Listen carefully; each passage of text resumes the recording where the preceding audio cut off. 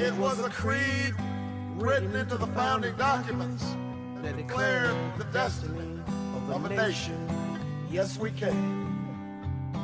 It was whispered by slaves and abolitionists as they blazed the trail toward freedom. Yes, we can. Yes, we can.